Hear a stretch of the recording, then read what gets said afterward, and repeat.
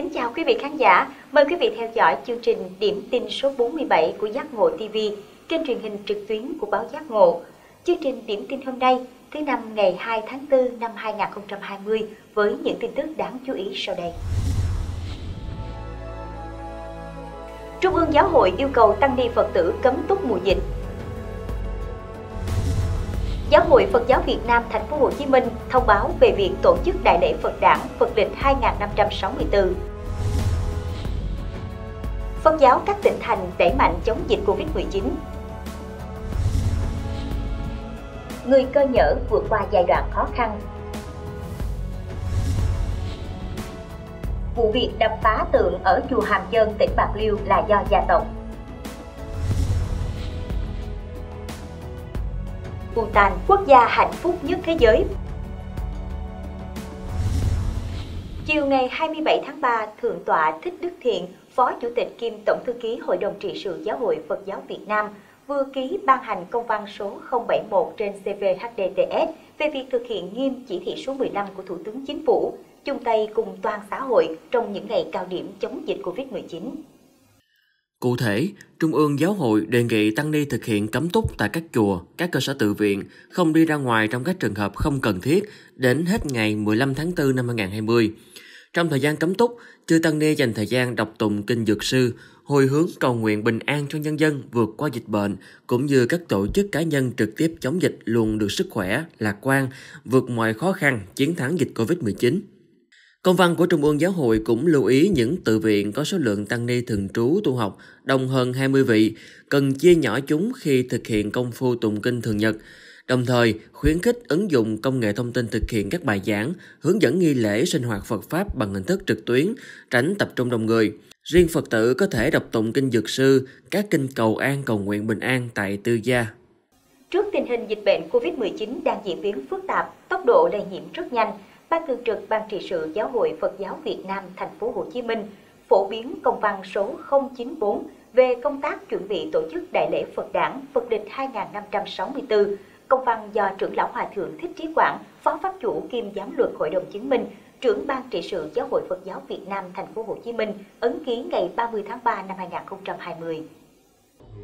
Theo đó, công văn yêu cầu các ban trị sự Phật giáo 24 quận huyện, các ban ngành trực thuộc, chư tôn đức tăng ni trụ trì các cơ sở tự viện trên địa bàn thành phố lưu ý trong việc chuẩn bị đại lễ Phật đản Phật lịch 2564 như sau không tổ chức lễ đài tập trung, rước xe hoa, các chương trình nghệ thuật chào mừng hay các hình thức tập trung đông người, khuyến khích nghi lễ kính mừng Phật đản Phật lịch 2564 bằng nghi thức tắm Phật, tụng kinh tại các cơ sở tự viện đối với tăng ni và tại tư gia đối với Phật tử, tín đồ Phật giáo mà không tập trung đông người. Chỉ tiến hành tổ chức đại lễ Phật đản Phật lịch 2564 tập trung khi nào có thông báo mới của Ban Thường trực Ban trị sự Giáo hội Phật giáo Việt Nam thành phố. Công văn cũng đề nghị trên tinh thần Phật sự chung vì sức khỏe mọi người, lợi ích toàn xã hội, đề nghị các ban chư tôn đức tăng ni, các cá nhân Phật tử tín đồ Phật giáo thành phố đồng quan tâm thực hiện tốt tinh thần thông báo này. Ngay sau khi Ban Thường trực Hội đồng trị sự ra văn bản 071 yêu cầu Phật giáo cả nước thực hiện nghiêm chỉ thị của Thủ tướng về phòng chống dịch bệnh, Phật giáo các tỉnh thành trong cả nước đã có những động thái đẩy mạnh công tác phòng chống dịch COVID-19. Cụ thể tại thành phố Hồ Chí Minh và các tỉnh Bình Định, Bình Thuận, Đồng Nai, Vũng Tàu, các ban trị sự đã phổ biến công văn yêu cầu các cấp giáo hội trực thuộc, tăng ni Phật tử tăng cường tuyên truyền vận động, nâng cao ý thức trách nhiệm trong việc thực hiện các biện pháp phòng chống dịch bệnh. Các từ viện có nguy cơ lây nhiễm phải kịp thời báo cáo chính quyền, tiến hành khử khuẩn, tuân thủ các biện pháp y tế phòng chống dịch bệnh theo quy định của Bộ Y tế, không để dịch bệnh lây lan trong cộng đồng Phật tử và dân cư. Đáng chú ý, Ban trị sự Phật giáo tỉnh Trà Vinh đã đề nghị tạm dừng tổ chức Tết Cho Thăm Thamay, lễ hội lớn trong năm của đồng bào Khmer, đồng thời kêu gọi Phật giáo các cấp phối hợp với chính quyền địa phương, các cơ sở y tế thực hiện tốt các biện pháp phòng chống dịch. Riêng tại thành phố Hồ Chí Minh, theo ghi nhận của phóng viên báo giác ngộ, nhiều chùa đã tạm đóng cửa để phòng tránh Covid-19.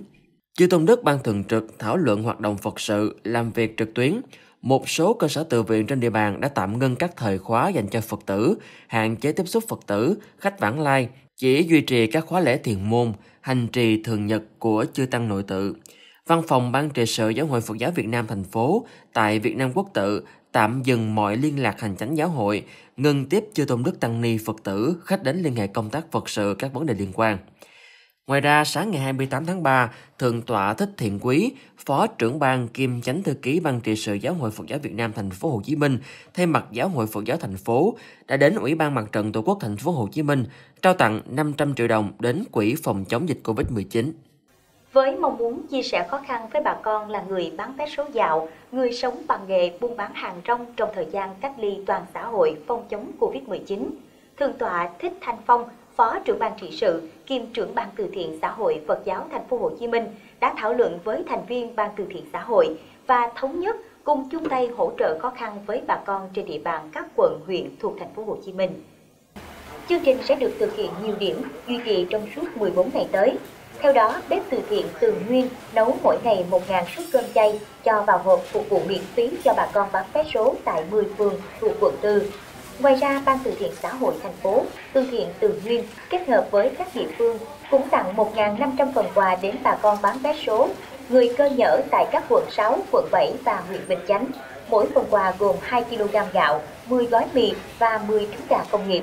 Trước đó, trong 3 ngày, từ ngày 26 đến ngày 28 tháng 3, Chư Tôn Đức và Phật tử Ban từ thiện xã hội Phật giáo thành phố Hồ Chí Minh cùng nhóm từ thiện chia sẻ sharing do bà Mai Thị Hạnh, phu nhân nguyên chủ tịch nước Trương Tấn Sang, ông Trần Trọng Dũng, chủ tịch Hội Nhà báo Thành phố Hồ Chí Minh thực hiện với sự hỗ trợ nhân lực của Trung ương Hội chữ thập đỏ Việt Nam và Ủy ban Mặt trận Tổ quốc Việt Nam Thành phố Hồ Chí Minh đã trao tặng 840 bồn chứa nước dung tích 1.000 lít một thùng đến tận tay bà con các xã bị ảnh hưởng bởi hạn mặn tại 8 tỉnh miền Tây Nam Bộ.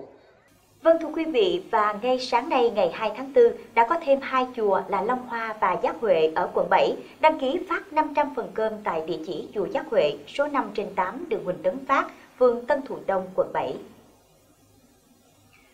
Gần đây, những hình ảnh về một cụ bà được cho là ở một ngôi chùa ở miền Tây bên các pho tượng bị đập phá ngổn ngang được dư luận trong và ngoài nước quan tâm.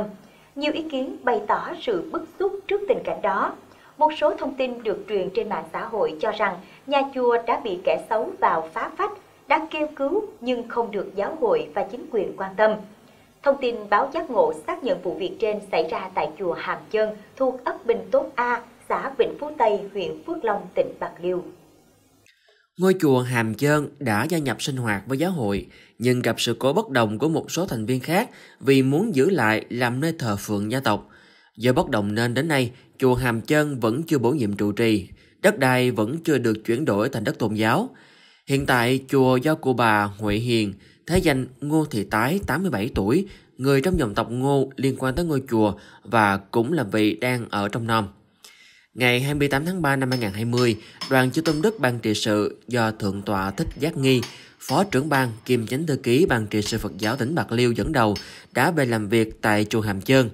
Các thành viên họ tộc Ngô tại buổi họp xác nhận họ đã đập phá các pho tượng, như đã thấy trong các hình ảnh lan truyền trên mạng. Một số thành viên họ tộc này có nguyện vọng xin gia nhập giáo hội chứ không giao chùa cho giáo hội.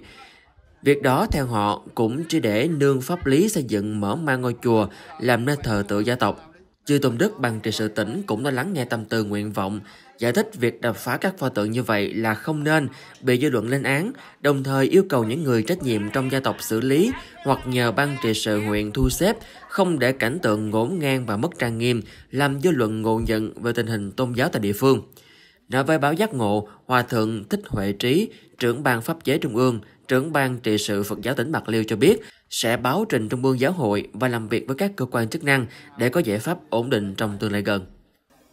Quý vị, trong những ngày này, khi dịch Covid-19 lan trên khắp thế giới, hơn 200 quốc gia và vùng lãnh thổ đã có người mắc bệnh. Tâm dịch đã dịch chuyển từ điểm khởi phát là Vũ Hán Trung Quốc sang đến Ý, Tây Ban Nha của châu Âu rồi lan sang Mỹ.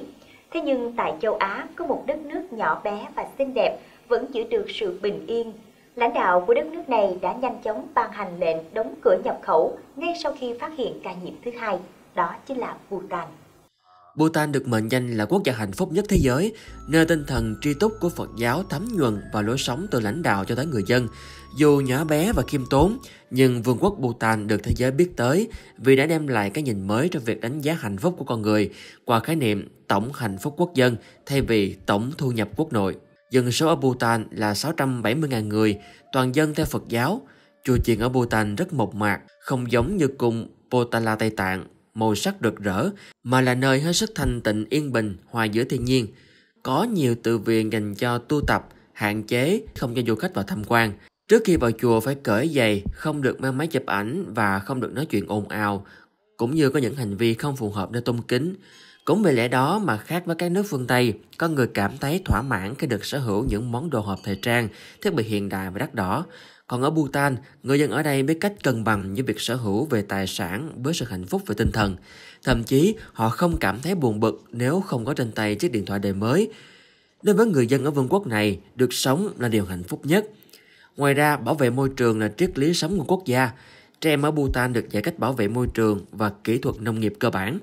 Người dân nơi đây quan niệm những đứa trẻ cần có kiến thức về môi trường như việc đạt điểm cao, bảo tồn tự nhiên trở thành một trong những điều quan trọng của chỉ số hạnh phúc nơi đây. Một nửa đất nước của họ là công viên quốc gia, người dân cảm thấy hạnh phúc khi sống trong điều kiện như vậy. Môi trường sống sạch sẽ là điều kiện để người dân Bhutan phát triển đời sống tinh thần. Kính thưa quý vị, những thông tin vừa rồi cũng đã khép lại điểm tin trong tuần số 47 với nhiều hoạt động sự kiện Phật giáo. Cảm ơn quý vị đã quan tâm theo dõi điểm tin của Giác Ngộ TV, kênh truyền hình trực tuyến của báo Giác Ngộ. Hiện dịch bệnh COVID-19 vẫn đang diễn biến phức tạp. Thủ tướng Chính phủ đã ban hành chỉ thị cách ly toàn xã hội trên phạm vi toàn quốc từ 0 giờ ngày 1 tháng 4 cho đến ngày 15 tháng 4 năm 2020. Quý vị lưu ý cập nhật thông tin cùng thực hiện các biện pháp an toàn vệ sinh theo khuyến cáo của Bộ Y tế, giữ gìn sức khỏe, tránh ra đường hay đến những nơi tụ tập đông người nếu không có việc gì quá cần thiết, phòng và tránh để bị nhiễm bệnh, giúp đỡ lẫn nhau và cùng cầu nguyện để đại dịch này sớm đi qua. Xin chào và hẹn gặp lại. Kính chúc quý vị vô lượng an lành.